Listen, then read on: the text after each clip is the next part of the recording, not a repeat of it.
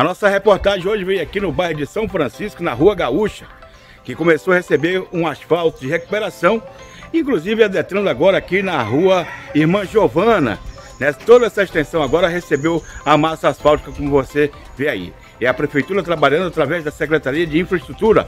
É o trabalho melhorando a vida social da população.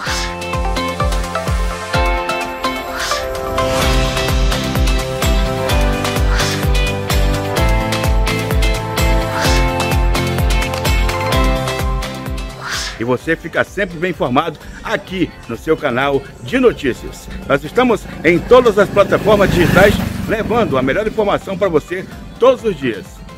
Fique ligado, aqui a notícia é de verdade.